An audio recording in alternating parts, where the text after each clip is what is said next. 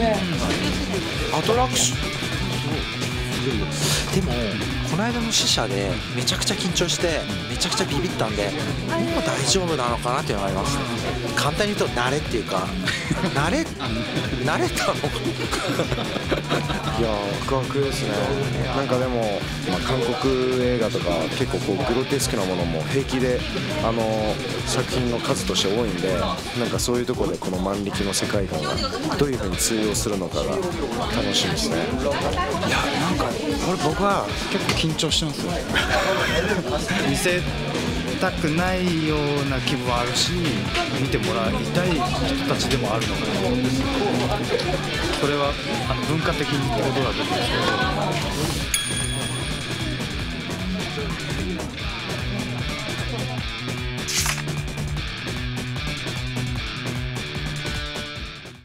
ど相談ください。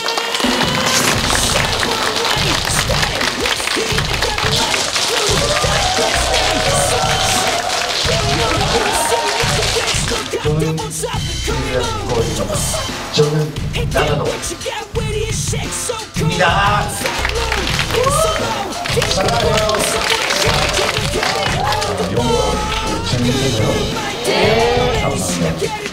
じゃあ長野さん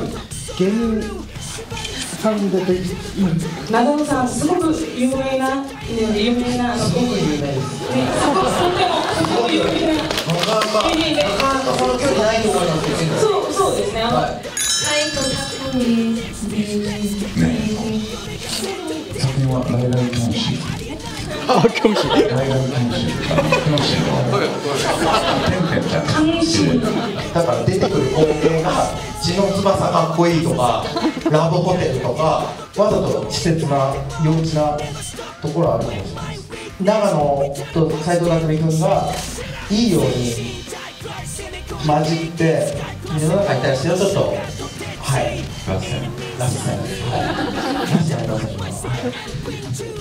でも今回50歳の女性をどう騙すかっていうずっとお金をあのくれるようにするにはどうしたらいいかっていうのはすごい真剣に考えましたはいえーこの映画を僕らが多分やりたいことが全部詰まったものができたことに一映画ファンとしてとっても満足してますでもお客さんが決めることものだと思うので映画は今日皆さんが見た万力というものは皆さんが一人ずつ評価してください。その評価が万力のこれからどこにフライトできるかってことが、え決まるので厳しく、えー、ジャッジしてください。本当にありがとうございます。感謝メいやすごい良かったんですけどその上映中監督が携帯してちょっと光ってるのが部活イライラして それぐらいですね。僕は最後でしたスウェーデン。iPhone でずっと見てたんで。あそっか。そうだ俺もそうだ。大スクリーンで見れたのが一番嬉しかった。そうですね。うんやっぱ笑ってくれるっていうリアクションが結構的確だったなと思いましたね。昼過ぎまで。理由が分かんないし。そうブランクに関わってたじゃないですか。だから僕としてもブランクモードだったんで。